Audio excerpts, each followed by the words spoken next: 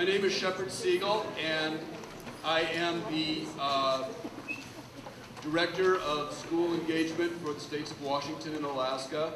I've lived in Seattle uh, more than 20 years, and I was the Career Tech Ed Director for Seattle Public Schools until I came to work for Project Lead the Way five months ago.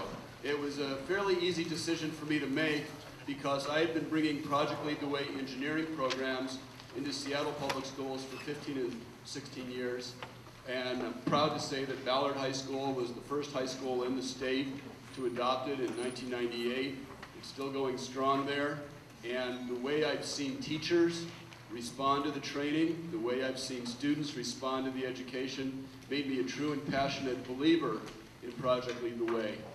However, I could not have given a better introduction to Project Lead the Way than uh, what Mr. Belcher just gave to you as an introduction to STEM.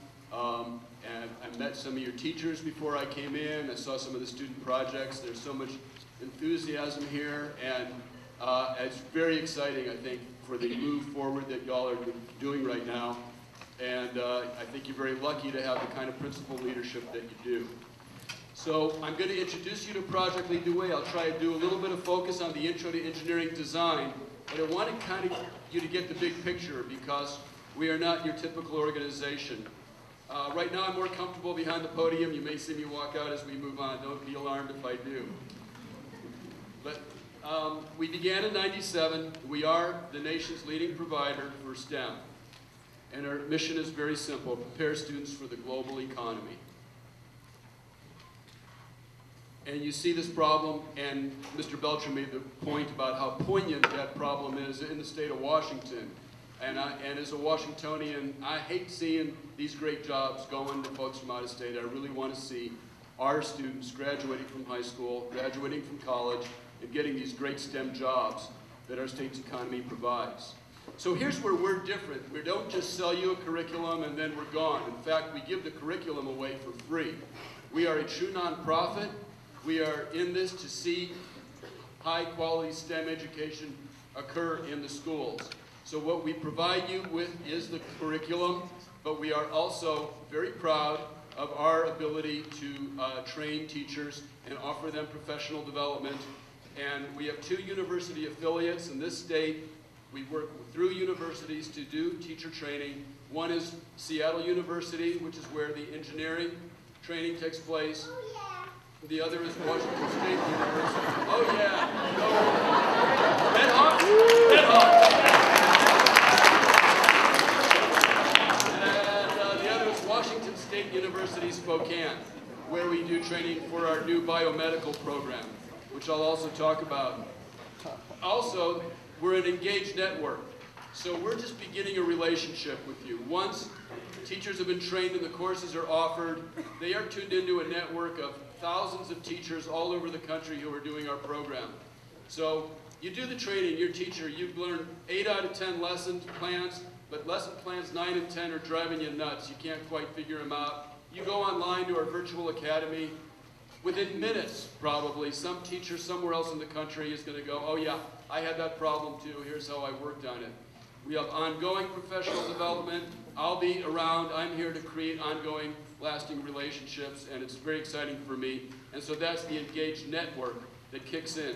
That network also includes employers, and we've got some big employers in the state of Washington I'm hoping to recruit, but in other parts of the country, uh, Chevron is a huge uh, uh, supporter of Project Lead the Way, uh, Toyota, it also in states like Kentucky, Texas, and uh, California, and there are other large, uh, large corporations that are making real significant contributions to Project Lead the Way, and that's part of the network, as well as uh, philanthropic foundations.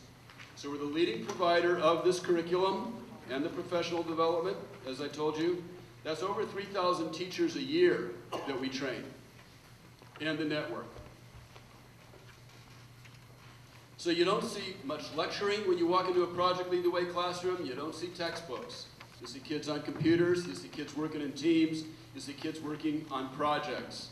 And you see the teacher setting them loose on those things and facilitating and be more of a resource. There's occasional lecturing, but very little.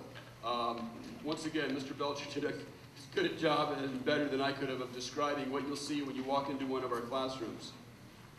So Gateway to Technology is our middle school program for grades six through eight. They're nine-week units, and these are some of the areas that they're in. I was just talking to uh, some of your middle school teachers before I came in tonight, and shared excitement with them, and these are the actual units. Now what happened is we were just engineering education, now we're into biomedical as well. So you, you won't see biomedical on this list, but we're adding a biomedical middle school unit called medical detectives. And I think as the years go by, we'll see more and more middle school units um, in biomedical. But we will have one, and it's being piloted 2013-14. It'll be available 2014-15 for anyone. And here's Pathway to Engineering, and this is, what, again, what Mr. Belcher referred to, and these are the courses. So the foundation courses are IED, Intro to Engineering Design, and Principles of Engineering.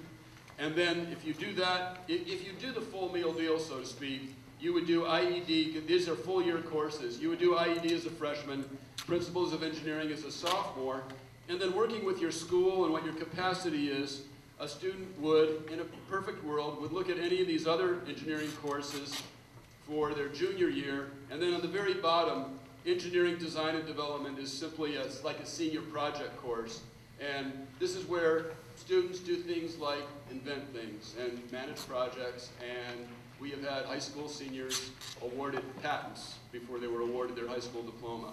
So exciting things happen in that, in that senior project course. We're ways off, but we're going to get there.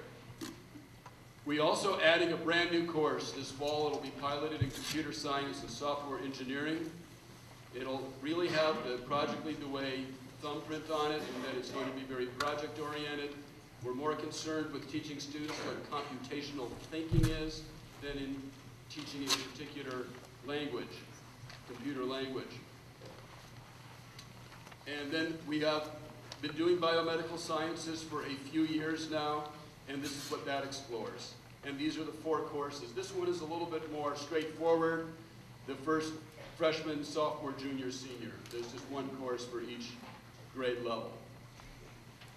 And what we do is we do collect a fee annually, and that fee supports all the uh, su supports people like myself who are going to be there to make sure the program's going well it supports, one reason I've become such a believer in it is that our, these courses are continuously reviewed and upgraded and redone.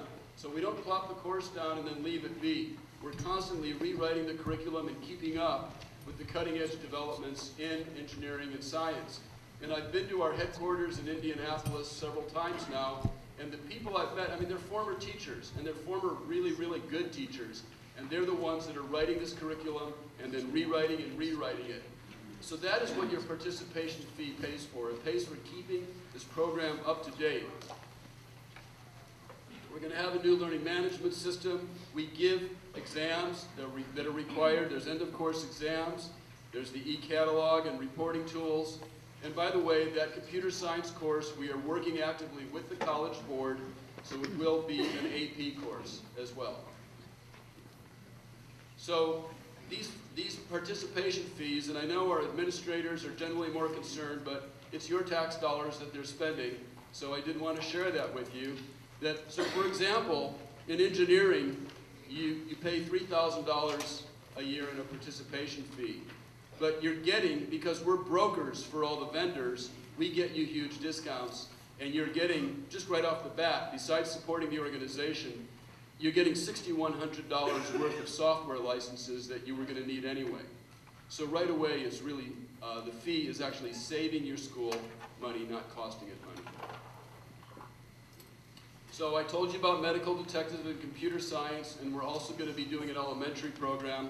So we're piloting that this coming fall, and so we will also have K-6 uh, STEM education coming at you um, in, in 2014-15. This is, I like including this chart because it talks about the difference between AP and Project Lead the Way. And also if you, you look at, you create this matrix of any course and what's the difference between high rigor, low rigor, high context, and low context. So what you get with Project Lead the Way is you get high rigor as you would in an AP course, but you also get high context. The students are solving real-world problems. They're bringing in guest speakers who have the STEM careers in this area, talking about what they really deal with, whether it's Microsoft or Boeing or the manufacturing sector down in so, the SoDo area of Seattle or, or the, the, the industry that you have in this part of the county or even the eastern part of the state. That the context is always there for students. And so this is why I've seen it work so well and that whether a student can succeed in an AP course or not, many of them who struggle in an AP course have great success in Project Lead the Way, including and especially students with mild disabilities who may have perceptual differences that make the conventional classroom difficult. Once they can start using their hands and solving a math and a science problem in an applied way, they take off and their true genius is revealed. We use only the latest stuff. We'll be using Autodesk Inventor, um, which is a state-of-the-art. You're going to need big computers. A few years from now, it'll all be in the cloud, but right now, Autodesk Inventor is so powerful, the cloud doesn't serve it that well. They're going to get higher scores. Um, I really appreciated again what Mr. Belcher said about he wanting to get students into those blue classes, the AP Physics, the AP Calculus, and Calculus. The success story of the year is Toppenish High School. You might, everyone know where Toppenish is, out near Yakima? So this is a high poverty school that has struggled academically for many, many years.